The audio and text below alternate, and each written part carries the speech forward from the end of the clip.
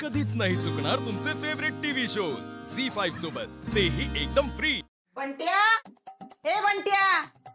बाटली हातात घेतली नाही की म्हातारी तडफाडलीच. हिला घेऊन बसलो ना घोट बी वाटेल द्यायची.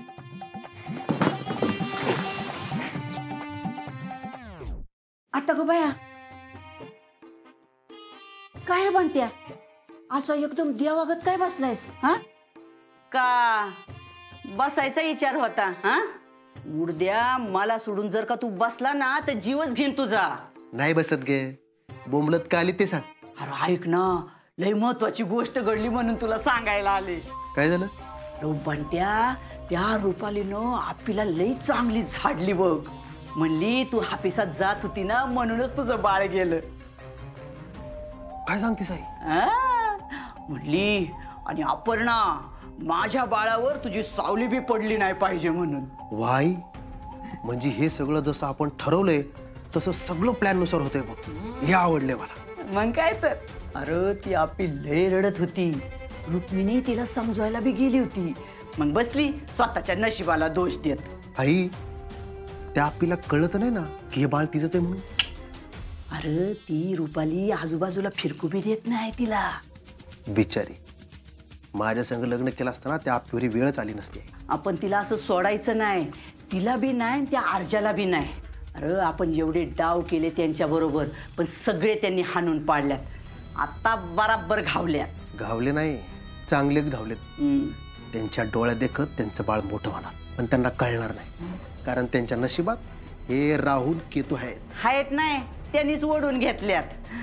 आता हे राहू की तू काय आयुष्यभर त्यांची साथ सोडणार नाहीत. तेच तर आई.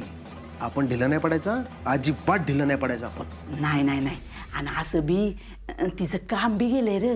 फार एकटी पडली बघ ती. आई त्या पीक गप बसणारे नाही हं? काहीतरी खोसपट काढून परत कामाला जाणार बघ अरे कशी कामाला जाईल ती?